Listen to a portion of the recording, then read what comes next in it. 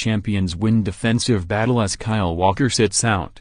He does leave you guessing, Pep Guardiola. And occasionally scratching your head.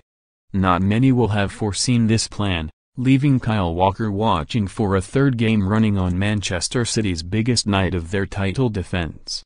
A huge call by Guardiola, who spent the eve of this is in sarcastic mood, dismissively battening down the hatches when some had the temerity to question their recent defensive record. City have now not kept a clean sheet in any of their last 11 matches, ruining the absence of Fernandinho for much of that run but also seeming bewildered and offering up more chances per game. On Thursday night that was not the case, just undone by a diagonal ball that Walker's deputy, Danilo, shrunk underneath. One lapse in concentration is all that matters in matches like this, as Guardiola was at pains to point out to his players in the days beforehand. Yes, we were a machine defensively, Guardiola said, eyes rolling and fingers twitching. We are an incredible team defensively, the only team that can stop Liverpool. Unless he was making an exceptionally thinly veiled point, Guardiola was forgetting that City are still the only team to shut Liverpool out this season.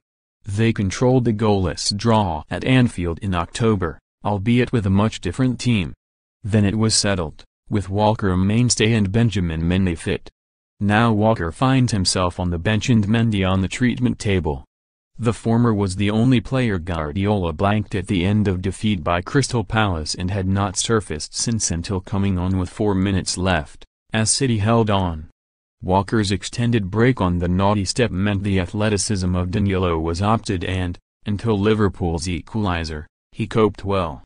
Sources at Tottenham confidently predicted Walker would have a lengthy spell during which he struggled when the England international moved to the Etihad Stadium in 2017 but few saw his temporary demise coming after three mistakes against a team battling against relegation. Mendy has his own problems to overcome although a lack of genuine backup has been laid bare with Fabian Delph out suspended. Leicester City's Ben Chilwell is the preferred target and would offer energy as well as defensive steel. Aymeric Laporte, out on the left on Thursday night, has the latter in abundance of course, making a statement early by pressing right up against Mo Salah on halfway and there was certainly a method to placing the best pound-for-pound -pound defender at the club directly against Liverpool's attacking protagonist.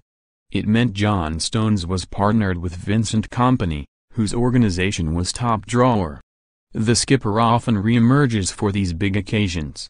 The best games you will have in your career, the Belgian said. As a defender you have to want to play these. The central defenders were desperate to defend.